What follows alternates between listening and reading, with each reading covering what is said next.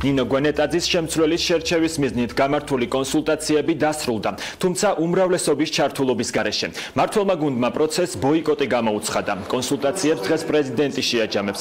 გიორგი მარგველაშვილი მესამე სექტორის წარმომადგენლებს შეხვდება. შეხვედრამდე მათ რუსუდან ჯაბანიშვილი ესაუბრა, რომელიც პირდაპირ ეთერში ისაუბრებს. დიახ, დავიწყებ თავდაპირველად მართველი გუნდის პოზიციით. ქართული ოცნების წევრები ბუნებრივია წინასწარ ვერ საუბრობენ იმასთან დაკავშირებით.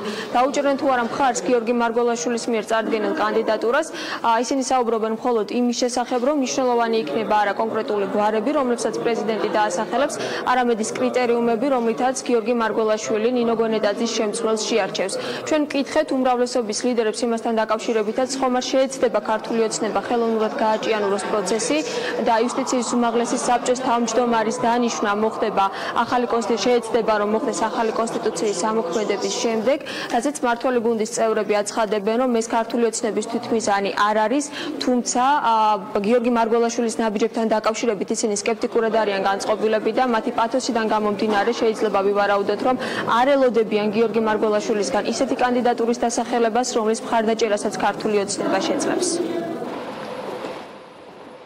ჩვენთვის რამდენიმე რამ არის მნიშვნელოვანი? ბუნებრივია ამ არა ნომინატორი, არა ის თუ ვის ვინ დაასახელებს ამ კანდიდატურას, არამედ თვითონ კანდიდატურა, არამედ თვითონ ის ადამიანი, რომელიც იქნება დასახელებული და რამდენად შეძლებს რომ ერთის მხრივ კონდეს სათანადო გამოცდილება, რეპუტაცია, დისტანცირება პოლიტიკური პროცესებისგან და პოლიტიკური პარტიული ცხოვრებისგან, რაც მნიშვნელოვანი შემოადგენელი არის უზენაესი სასამართლოს თავმჯდომარის კანდიდატისთვის, ასევე ხედვა სასამართლო რეფორმის გაგრძელების თაობაზე და უნარი რომ გამკლავ მოვიდეს იმ გამოწვევებს, რომელიც სასამართლო სისტემის შიგნით არსებობს. თუ ჩვენ გადავხედავთ სხვადასხვა პოზიციებზე, მას თქვა დასახელებულ ნომინირებულ პირებს ნახავთ, რომ ძირითადად სწორედ მისი გარემოწმიდან ან თანამშრომლებიდან შერჩეული პირები იყვნენ, თუმცა ამიტომ რაღაც გარკვეული სკეპტიციზმი არსებობს. პარლამენტი საბოლოო გაწყვეტილების მიმღები ორგანოა, ამიტომაც ძალიან მნიშვნელოვანია, რომ ეს პროცესი იყოს მაქსიმალურად გამჭვირვალე, მაქსიმალურად მაღალი ჩართულობით და რაც შეიძლება ყველაზე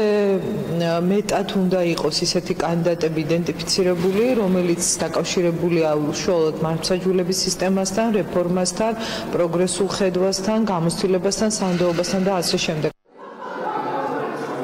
იმ შემთხვევაში თუ ახალი კონსტიტუციის ამოქმედებამდე გიორგი მარგოლაშვილმა ვერ მოახერხა კანდიდატის დასახელება, აი ეს პროცესი დაიწყება უკვე ახალი კონსტიტუციის შესაბამისად, ახალი კონსტიტუციის ამოქმედების შემდეგ და ამასთან დაკავშირებით ჩვენ არასამთავრობო ორგანიზაციების წარმომადგენლებს ვკითხეთ, მისაღები იქნება თუ არა მათთვის ეს პროცესი, ანუ ის რომ იუსტიციის უმაღლესი საბჭოს თავმჯდომარე უშუალოდ საბჭოს წევრებმა აირჩიონ, სოფო ვერძეული არასამთავრობო ორგანიზაციის წარმომადგენელი ამბობს, რომ უმჯობესი იქნება თუ გიორგი მარგველაშვილის პირობებში მოხდება ახალი თავმჯდომარის დასახელება, ვინაიდან ახალი კონსტიტუციის ამოქმედების შემდეგ დასახელებული კანდიდატი მათთვის ნაკლებად იქნება მისაღები.